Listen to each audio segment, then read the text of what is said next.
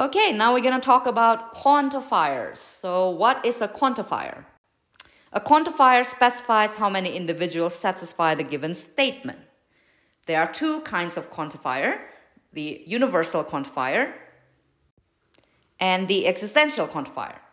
Universal quantifier specify, specifies that all individuals satisfy the given statement.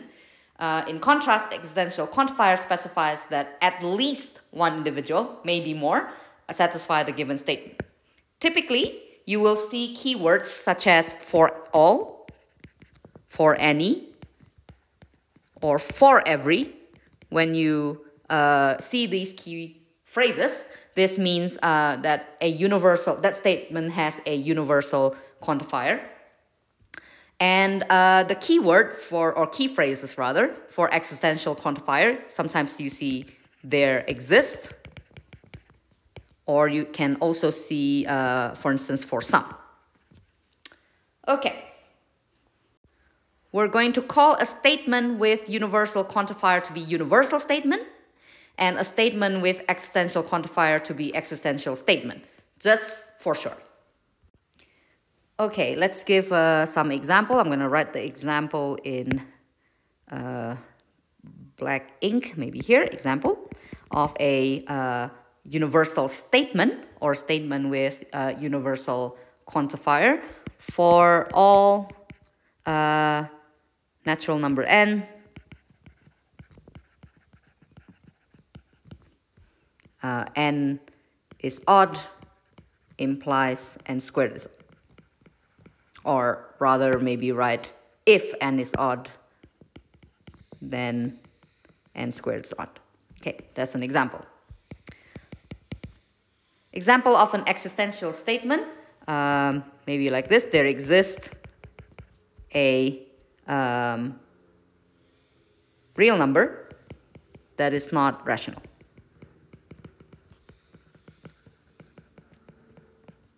This is a true statement. Square root of 2 is an, is an, is an example. Okay. Okay, you can also actually combine quantifiers. So um, one famous example is um, the following. Uh, that f be a function from a to b. Okay, uh, we say that f is injective. Uh, actually, I want surjective. excuse me. f is surjective if for any y in B, there exists x in A such that f of x is equal to y. This is the definition of surjectivity. So you see here there's for any and there exists. Uh, there are other instances uh, like formal definition of a limit. You will also see uh, this kind of form. For any, there exists. Okay, and the order matters. The order of this quantifier matters, right? When you combine them, you not it's not necessarily uh, true that you can swap the order of quantifiers. Okay, I'm going to demonstrate with an example. Okay, so I'm going to write the following statement. All people are married. Okay, let's forget about whether this is true or false. Um, maybe maybe false, right? Because surely there are people who are not, not married. Um, but you can write rewrite this uh, statement with quantifiers. How do we write this? We say that for all uh, persons P, if um, rather the following, there exists, there you go, there exists uh, a person Q such that uh, P is married to Q. Right.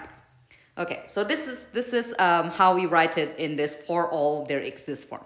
Okay, suppose now we're going to swap the quantifiers. Let's write the following. There exists a person P such that for all uh, persons Q, P is married to Q. Right? The meaning is completely different. There's, there exists a person P such that for all persons Q, P is married to Q. That statement says that everyone is married to P, right? Well, really not the meaning of the original uh, sentence that we write. So don't swap quantifiers. Please be careful with this. Okay. Let's get back to an example that we did in one of the previous videos.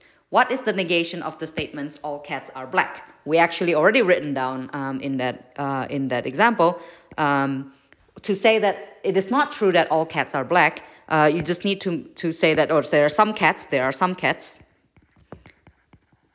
that are not black, right?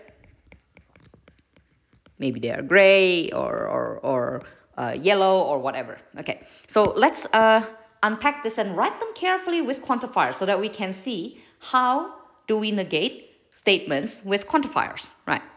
Um, so for all cats P, P is black. This is the original statement written using, properly using quantifier, right? And the negation of this, its negation,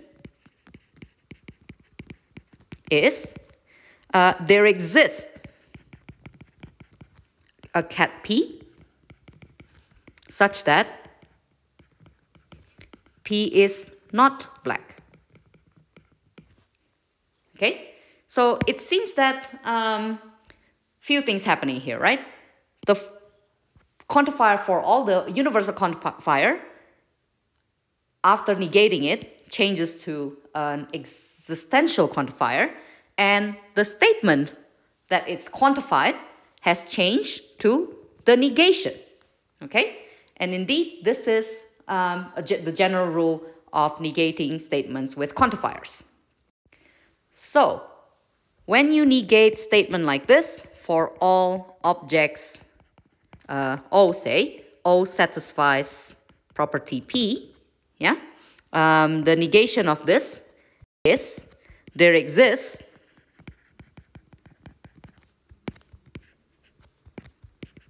uh, an object O such that O does not satisfies P. And similarly, to negate a statement, uh, existential statement,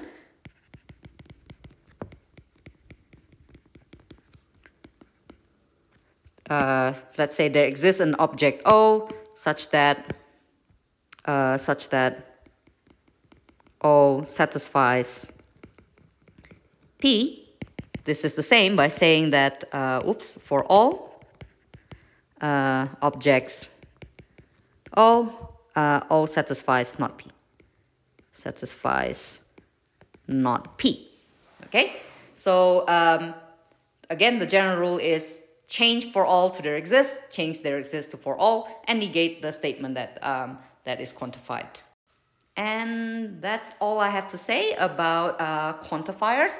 Of course, you can get a really complex um, statement with many, many quantifiers uh, all being um, uh, combined in every which way, but we're not gonna go too much into that in this video. And I'll see you in the next video where we're going to talk about how to prove things. How to prove implication, how to prove statements with quantifiers and all that. Okay, so I'll see you in the next video.